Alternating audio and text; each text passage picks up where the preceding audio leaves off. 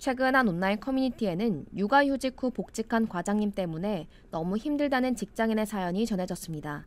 지방에 있는 작은 회사에서 근무 중이라고 밝힌 글쓴이 A씨는 육아휴직 후 복직한 과장님이 너무 일을 안 해서 힘들다며 하소연했는데요.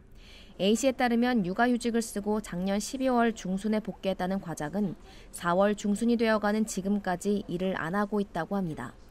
전화나 팩스 받기 등 단순 업무도 넘쳐나지만 온라인 쇼핑, 비행기 티켓 예매, 호텔 예약 등 개인 업무를 하느라 일을 전혀 하지 않는다고 하는데요.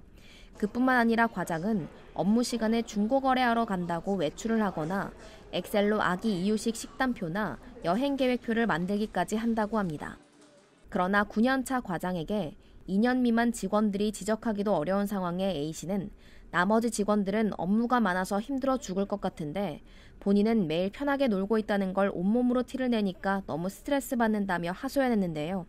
심지어 팀장들은 해당 과장님이 복귀해서 일손이 늘었으니 업무가 많이 줄지 않았냐고 말해 더욱 황당하다고 합니다. 결국 퇴사까지 고민돼 이직 준비 중이라는 A씨의 네티즌들은 그냥 퇴사가 답이다. 과장을 컨트롤할 수 있는 더 윗사람은 없는 거냐? 사장이나 임원한테 바로 말해라. 윗자리로 갈수록 더 힘들어지는 건데 거저 먹으려고 하는 사람이 너무 많다 등의 반응을 보였습니다.